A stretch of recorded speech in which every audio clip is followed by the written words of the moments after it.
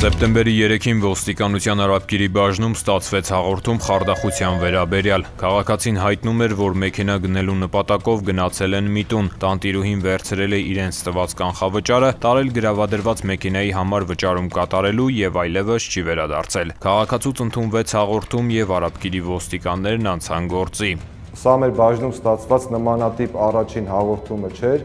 երբ քաղաքացին մեքենա գնելու պատրվակով դառնում էր խարդախության զոհ այս անգամ նաև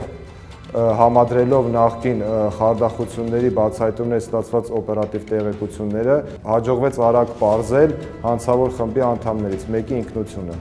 Այս պայն քննությանը հայտնի է խմբի կատարած նմանատիպ խարդախության 4 դրվագ, որպեսզի մեքենայի արքու վաճառ կատարող այլ քաղաքացիներ եւս խարդախության թիրախ չդառնան, հնարավորինս մանրամասն ներկայացնենք խարդախության մեխանիզմը այս կոնկրետ դեպքի օրինակով։ Նախապես հանցավոր համաձայնության գալով խարդախները մի կայքից տեղեկացել էին Toyota Camry մակնիշի մեքենայի վաճառքի մասին։ Կապ էին հաստատել տիրոջ հետ, իբր գնորդ են մեքենան իրենց դուր է եկել եւ որպեսզի գնեն, իրենց հարկավոր են մեքենայի լուսանկարներն ու տեսագրությունը, նաեւ տեղանձնագրի նկարը։ Հետո խնդրել են հանել մեքենայի հայտարարությունը, որ հանկարծ ուրիշ գնորդ չհայտնվի։ Հաջորդ քայլով խարդախները նույն մեքենայի վաճառքի հայտարարությունը մեքենայի եւ տեղանձնագրի նկարներով տեղադրել են մեկ այլ կայքում, շատ ավելի էժան, այսպես ասած գայթակղիչ գնով։ Պոտենցիալ դուժողը կապվել էր մեքենա վաճառողի հետ, որը նրան ասել էր, թե իբր մեքենան գրավադրված է եւ վաճառքն իրականացնելու համար անհրաժեշտ է 1.5 միլիոն դրամից քիչ ավելի գումար։ Կանխավճարի հարցում համաձայնության գալուց հետո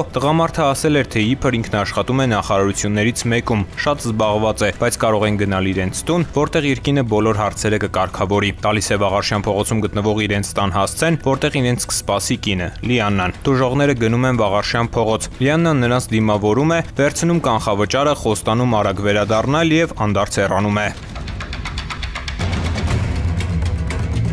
Բնականաբար պարզվում է, որ բնակարանը տրվում էր օրավարձով ու Լիաննան էլ բոլորովին էլ Լիաննա չէ